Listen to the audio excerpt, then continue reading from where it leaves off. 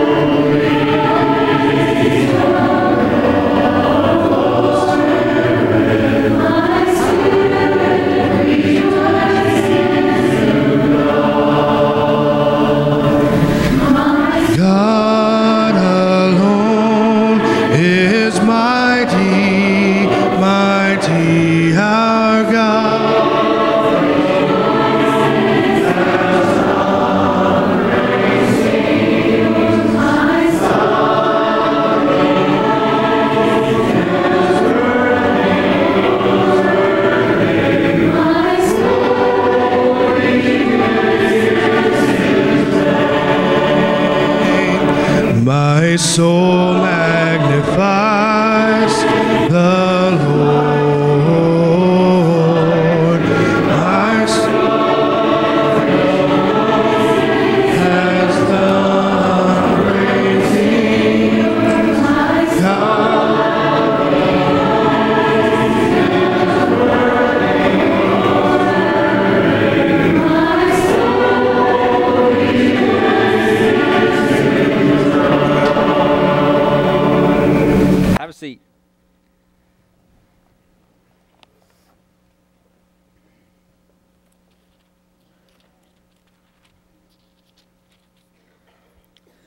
I saw on the right hand of him who was seated on the throne a scroll written within and on the back, sealed with seven seals.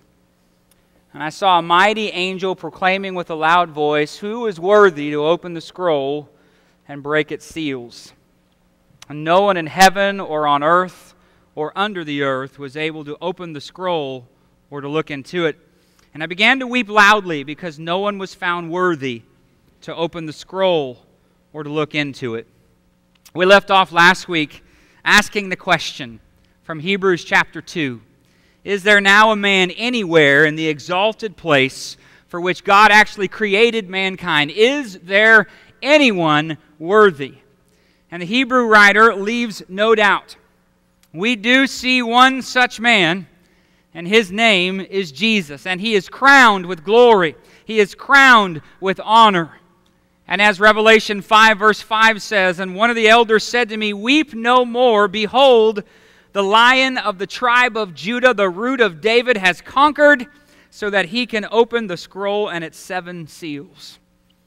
That's what Hebrews is all about reminding us that the Christ that we serve is worthy. And if those songs that we just sang don't move you, you need to check your pulse because we serve an amazingly worthy God. And we come together tonight to remember that and to celebrate that and to focus on that and to grow in the knowledge of that worth that Jesus offers to us. The eternal Son who was God's agent in creation. He's the one that spoke it all into existence. And the one who shares God's nature became a human being. He became a man. And for a little while, he was lower than the angels themselves.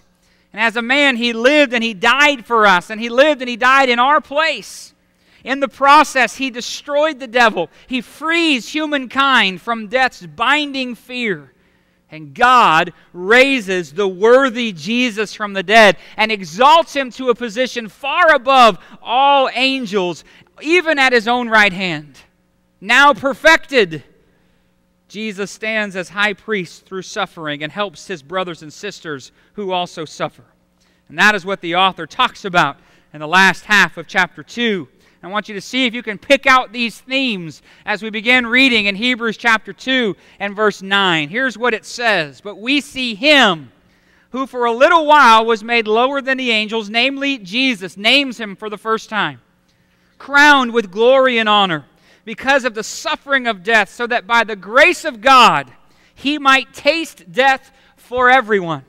For it was fitting that he, for whom and by whom all things exist, in bringing many sons to glory, should make the founder of their salvation perfect through suffering. Underline those words if you do that in your Bible. Perfect through suffering. For he who sanctifies and those who are sanctified all have one source. That is why he's not ashamed to call them brothers saying, I will tell of your name to my brothers in the midst of the congregation. I will sing your praise. And again, I will put my trust in him. And again, behold, I give, I and the children God has given me. Since therefore, verse 14, the children share in flesh and blood, he himself likewise partook of the same thing, that through death he might destroy the one who has the power of death, that is the devil, and deliver all those who through fear of death were subject to lifelong slavery. For surely it is not angels that he helps, but he helps the offspring of Abraham. Therefore, he had to be made like his brothers in every respect so that he might become a merciful and faithful high priest in the service of God to make propitiation for the sins of the people. For because he himself has suffered when tempted, he is able to help those who are being tempted. If we search the whole world over, we cannot find any human being who exercises sovereignty over God's creation. But if we look beyond the present earth, we get a different view. A, a, completely different picture arises. There we do see one man crowned with glory, crowned with honor, Jesus Christ. And Jesus' death demonstrate at the, at the elevated level the heights of human cruelty and human evil. But even more, the cross was not just, a, was not just a, an act of human cruelty and, and evil. Even more than that, it was an act of divine grace. God took that which was so evil and so wicked, and He actually used it to be the source of His grace. Only God is able to do things like that. Only God is able to make that happen. Jesus experienced death not for himself, but for all of us. And he experienced that not in some vague way, not in some general way, but specifically, he suffered death for your sin and for my sin. Jesus' death for all men is described further in verse 17, where we learn that Jesus made propitiation for his people's sin. What in the world is propitiation? That's one of those big churchy words that we don't use outside the four walls of a church building. What in the world is propitiation? Well, the Greek word is from the is a form of the verb that describes a sin offering. Okay, well, what in the world is that? We're not in Leviticus tonight, Steve. What is a sin offering? What does that have to do with anything? What, what in the world are you talking about? What does that even mean? Well, here's what it means, and I need you to get this tonight. You're never going to understand how worthy Christ is if we don't understand this very thought first. Jesus dies as our representative just as he lived as our representative. And by his perfect living and his perfect dying, Jesus takes our place. He stands in our stead. He experiences life and he experiences death and he bears our nature and he wears our names on that cross. And what he does when he raises from the grave is he makes us whole again with God. That is propitiation. That is the sin offering that Hebrews lays at our feet and says, Do you see what an amazing God we have? Do you see how amazing Jesus is? Jesus represented us on earth in order to represent us in heaven. It's an amazing, amazing thing. By his perfect living and dying, he did all of that. The Son of God, who was always higher than the angels, became a man. And although he would never abandon his deity, he also, having taken on our nature, would never abandon his humanity. And so when Jesus has done everything that God ever desired for a human being to do by his life and by his death, God raises him from the dead and exalts him to his right hand in heaven. And so now, right now, at this moment, in the presence of God, He is still the Son. He is also Jesus. Always divine, He is also now human. Forever perfect in essence, forever perfect in character. He is now perfected through suffering to be the high priest for us who He came to save. Wow. It blows me away every time I read these words in Hebrews. It blows me away that he is mindful of us, just like David said in Hebrews 2 earlier. What are we that you even care about us? It's incredible. Let's look a little closer at this phrase, perfected through suffering, because I think this is big. This is, to me, a very scary phrase. And it's scary for a variety of reasons, because what I think it means, if I understand it correctly, is that if we're ever going to be com- perfected or made complete, really is the, is the idea behind the, world, with the word. If we're ever going to be that, that means suffering is going to have to come into each and every life. And so to me, this is a very sobering thought. In fact, it was Jesus who said, Remember that a servant is not above his master.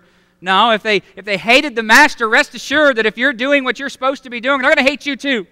And suffering is going to be a part of this process to complete us, to, to perfect us, to make us whole, if you will, uh, uh, for God's purposes. And so, if Jesus was to accomplish salvation, he had to be perfected. He had to be made complete, if you will, uh, by experiencing suffering.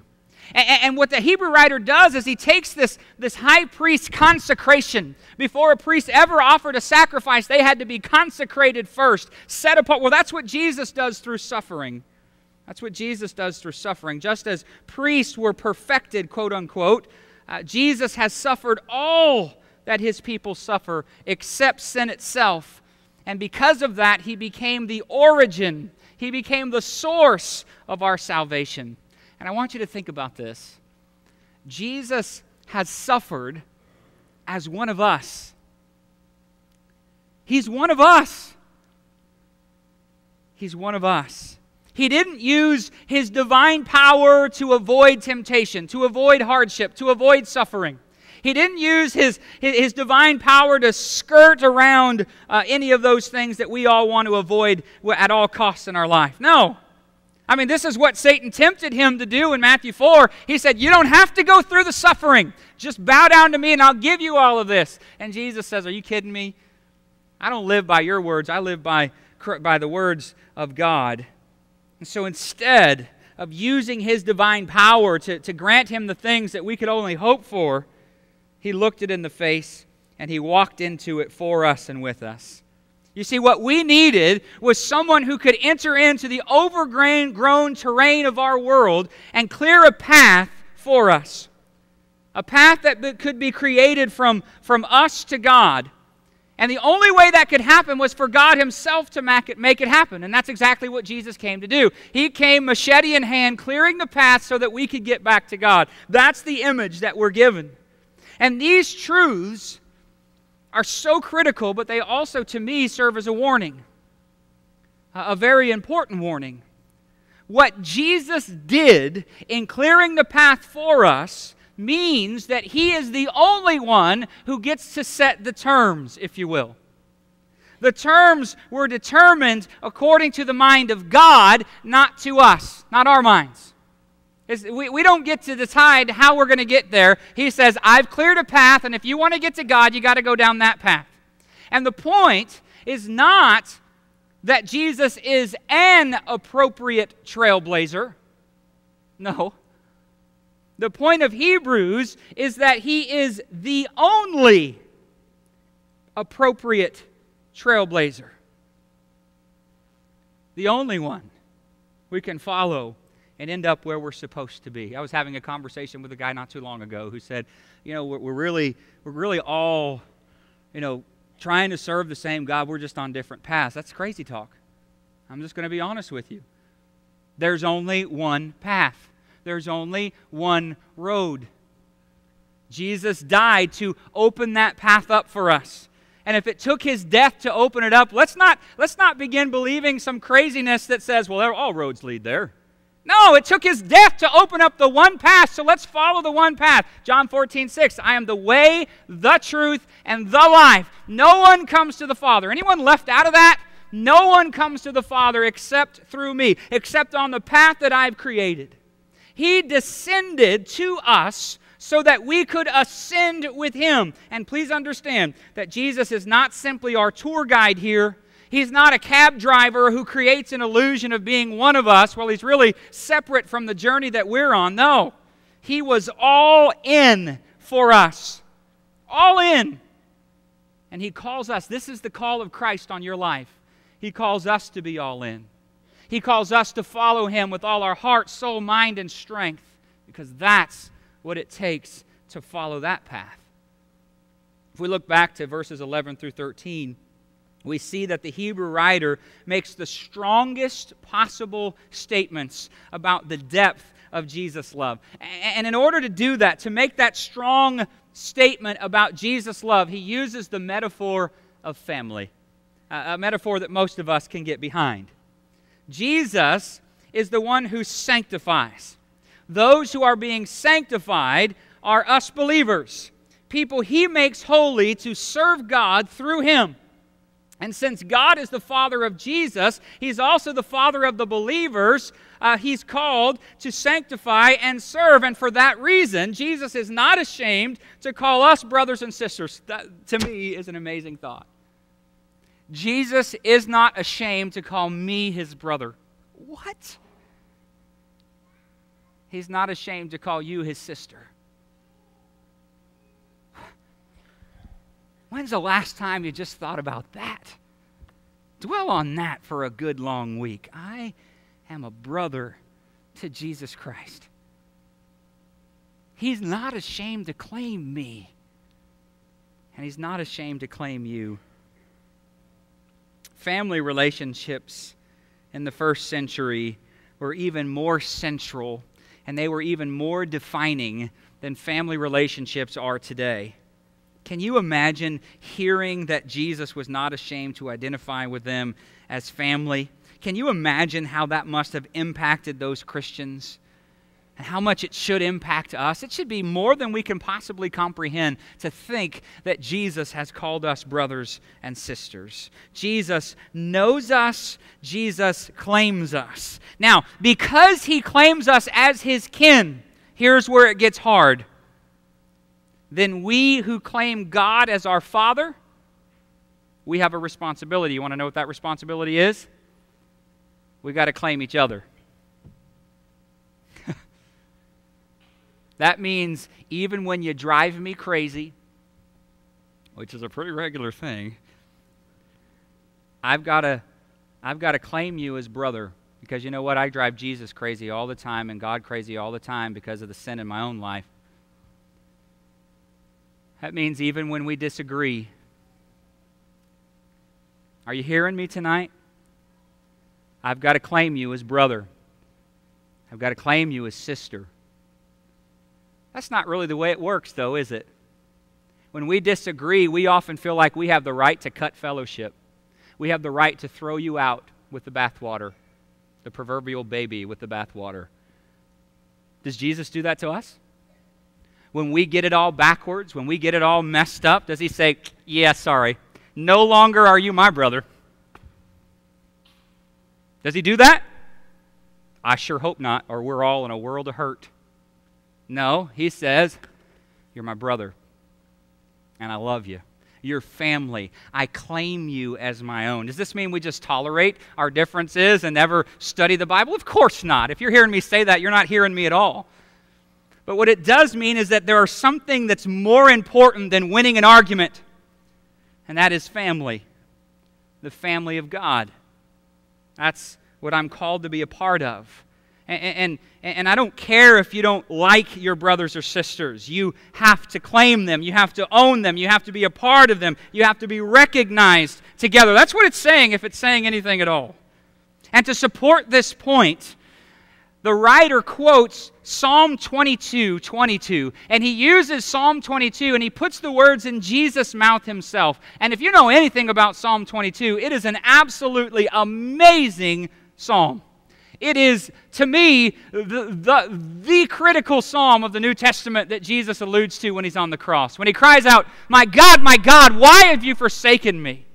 He's crying out this very psalm. Psalm 22. It's incredible. And it begins with that cry. And from that dismal start all the way through verse 21, the forsaken one describes his peril and he pleads for God to deliver him from that peril. But when we reach verse 22, everything changes. And the protest turns to praise in gratitude for the deliverance that God has given. And the implications of this psalm are huge, and I really want to talk more about that, but we're not talking about Psalms tonight, we're talking about Hebrews. And so we'll come back to that. But after that quote of Psalm 22 22, he then quotes Isaiah 8 17 and Isaiah 8 18. And in it, Jesus identifies, hear this now, Jesus identifies fellow humans, us, as his personal inheritance and reward from the Father. Think about that. Because Jesus was faithful in obedience completely, we, we are Jesus' reward.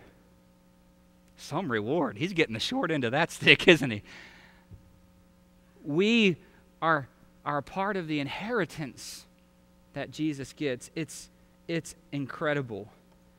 The prospect of eternal companionship with all his brothers and sisters, that is why, for joy set before him, he, he endured the cross and ultimately became obedient to the point of death. Man, dwell on these things, guys. This, this is so crucial to understanding who God is, but more importantly, understanding who we are. As we look at the end of this section of Scripture from Hebrews 2, verses 14 through 18, uh, what it shows us is something that we know really, really well. The latest USA Today poll is out one out of one die. it, just it shows us that every one of us experience human frailty. We get weaker, we get we, we don't get to keep the strength that we had when we were younger. And ultimately, all of us, unless the Lord comes first, are going to experience death. And Jesus accepted the same and his identification with us. Although tempted in every respect, Jesus never broke faith with the Father. And because he never sinned, death had no power over him. And listen to this is my favorite part of the whole lesson. I've been waiting to say this. When Jesus, oh, I love this. When Jesus enters the realm of the dead, he enters as death's invader. He enters as death's destroyer. He doesn't go into the realm of the dead as some kind of victim. He doesn't go in as some kind of captive. Far be it from that. Death had no claim on him. He walks into death and he snatches the keys from Satan and he says, I'll be taking those from you now. I, will be the one who decides when the gates are open and when the gates are shut. And he triumphantly makes his exit out of death's door. Wow. That's the God we serve. That's the God who's on our side. That's the God who's for us. That's the God who loves us. And from the day Adam and Eve sinned, the devil has been using sin as, and the results of that sin as a way to intimidate us, to try to get us to not be what we're supposed to be and do what we're supposed to do. In that way, death became, as one commentator said, the henchman in the devil's service. But what Jesus' death does is he walks in and he disarms the devil and he says, Death no longer holds its former terror over the children of God. Jesus' victory over death even changed our vocabulary. You know, Jesus changes the calendar from AD to BC and all of that kind of stuff, but it even changes our language Think about this for a second. Before Jesus died and rose again, the Greeks called the burial ground the necropolis. You know what necropolis means? The city of the dead. Ooh. After Jesus has died and raised from the dead, what do we call a burial place, a burial ground today? A cemetery. And a cemetery comes from the Greek word meaning a resting place, a sleeping place. Jesus changes everything. He changes our very vocabulary. He says, Death, you don't get to do what you've always done. Death, you don't get to intimidate like you used to. Instead, for us who are followers of Jesus, death is, death is not the city of the dead. It's, it's a place where we get to go be with Jesus. Paul says in Philippians 1, verse 21, For me to live is Christ, and to die is gain. And the only reason he can say that is because of what Jesus accomplishes for us. Amazing. So here's the point Hebrews 2 closes by reminding us that in order to save us, Jesus had to be made like us in every single respect. And so, as a man, he truly experienced temptation sorrow, desire. And because of that, he's able to show mercy to you and to me, whom he represents as our high priest. As our representative, Jesus lives a life of faultless and loving obedience to the Father. And the point is this Jesus remains wholly faithful to the Father while at the same time representing his people. And that's very, very important. He is the ideal high priest according to God's own standard. It was as high priest designated by God that Jesus made this atoning sacrifice, this propitiation for our sin. And as our author's later going to explain, it was by becoming a man and then becoming a faithful man that Jesus was able to make this atoning sacrifice, make this propitiation a reality. For the offering by which he accomplished this priestly function was, in fact, his own human and faithful and perfect life. The word propitiation only appears one other time in Scripture. Did you know that? In Luke chapter 18. Interesting that this is the one other place that the word appears. It appears in that, that account of the Pharisee and the tax collector who come into the place of worship. And the Pharisee stands there. You remember the story. God, I thank you that I'm not like other men. I uh, give a tithe of everything I possess. I've got it all together. In fact, Lord, you're very lucky to have me in your service and in your kingdom. I'm not like this tax collector over here. I, I, I've got it all together. And the tax collector can't even lift his eyes into heaven, but says, Lord, be propitious to me, because I'm a sinner. The tax collector begs Jesus to be propitious in the original sense of the word. Think about that. And isn't that what we should be begging God to do?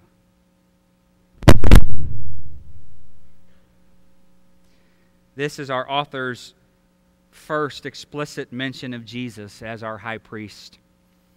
Although he hinted at the role earlier in Hebrews 1 3, uh, he's calling it out clearly here. Jewish literature between the Testaments, between the end of Malachi and the beginning of Matthew, includes lots of references to both a priestly and a royal Messiah. Yet, in all of this literature, no one ever suggests a priestly Messiah who offers himself as a sacrifice for our sins or who intercedes for his people in heaven. It's interesting. What Jesus came and did was never conceived by any scholar, by anyone of all times. And the ones that the prophets that God spoke through, I don't even think they fully grasped what Jesus was going to be and what Jesus was going to do. In all of literature, no one suggests that. These two great acts, high priest interceding for us, which sum up Jesus' ministry, were above and beyond the thoughts and the imaginations of people in that day. And because Jesus was genuinely tempted and truly suffered, he is now fully able to help his people who at any moment are suffering or being tempted. That's the point. Jesus Jesus doesn't wag his head and say, Man, there but for the grace of God go I. No. Instead, he says, There because of the grace of God, there I am for you. Amazing. Amazing love. How can it be that Jesus would die for us? Incredible thought. I hope that that'll go with you this week. I hope that it'll be something for you to dwell on, to meditate on. I hope that it'll be something that will challenge your thinking and cause you to, to look at Jesus again and say, Worthy, worthy is the Lamb who was slain for me. If we can pray for you, if we can help you, we invite you to come down here right now at this point while we stand and we sing this song. And to praise you, but I fall on my knees. My spirit is willing, but my flesh is so weak. So light the fire in my soul, fan the flame, make me whole.